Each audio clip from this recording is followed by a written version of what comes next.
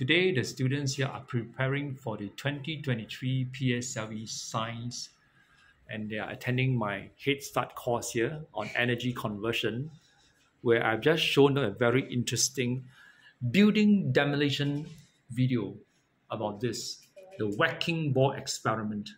And now they're learning how to answer these questions, which may appear in the 2023 PSLE science examinations. So I wish all the children who want to do well in the coming 2023 PSLE science come to join 1Academy and its awesome training. Take care and God bless.